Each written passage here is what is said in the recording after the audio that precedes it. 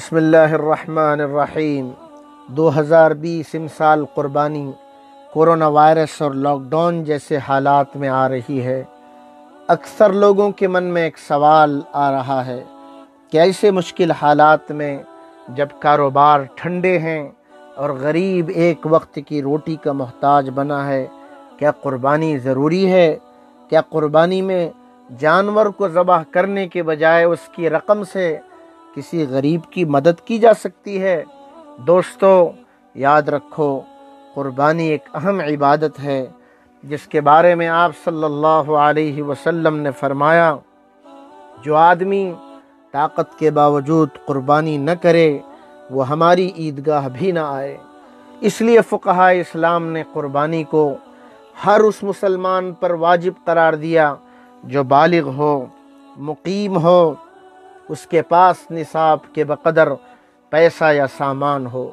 ہر ایسے مسلمان پر ایک چھوٹے جانور کو ذبح کرنا یا بڑے جانور میں حصہ لینا ضروری ہے۔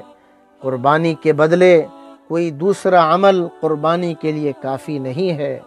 اگر آپ کے شہر کے حالات درست نہیں ہیں اور قربانی میں قانونی رکاوٹ ہے تو اپنے شہر میں قربانی کرنے کے بجائے کسی دیہات میں قربانی کا انتظام کر لیجیے۔ اگر آپ نے ایام قربانی تک جانور حاصل کر لیا، مگر قربانی کے دنوں میں رکاوٹوں کی وجہ سے قربانی نہ کر سکے، تو زندہ جانور کو، کسی غریب کو صدقہ کرنا واجب ہے۔ آپ کو مسئلہ معلوم نہیں تھا، جانور کو آپ نے ذبح کر دیا، تو دو باتوں کا خیال رکھیں۔ پہلی بات یہ کہ اس جانور کا گوشت اور چمڑا سارا کا سارا غریبوں پر صدقہ کر دیں۔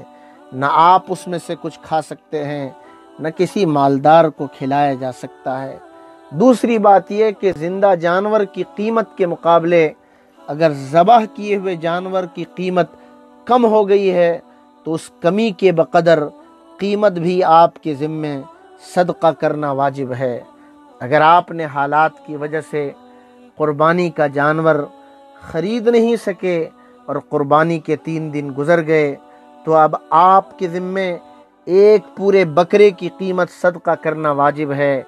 بڑے جانور کے ایک حصے کی قیمت کا اعتبار نہیں ہے۔ بعض علماء کی یہ بھی رائے ہے کہ بڑے جانور کے ساتویں حصے کی رقم بھی ادا کی جا سکتی ہے۔ اگر آپ پر قربانی واجب نہیں تھی اسی طرح ماں باپ، اولاد کی طرف سے قربانی کا ارادہ ہے۔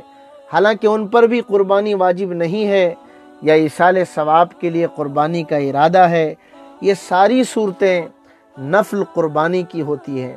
لہٰذا آج موجودہ مشکل حالات میں نفل قربانی نہ کیجیے بلکہ اس کی رقم سے کسی غریب کی مدد کیجیے اسلامی مدارس کا تعاون کیجیے ان تمام مسائل کا خلاصہ بس یہ ہے کہ اگر آپ پر قربانی واجب ہے تو جانور کو ہی قربان کرنا ہوگا۔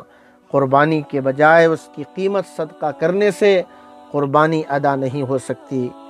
ہاں اگر آپ پر قربانی واجب نہیں ہے مگر آپ کرنا چاہتے ہیں تو ان موجودہ حالات میں نفل قربانی کے بجائے اس کی قیمت صدقہ کر دیجیے۔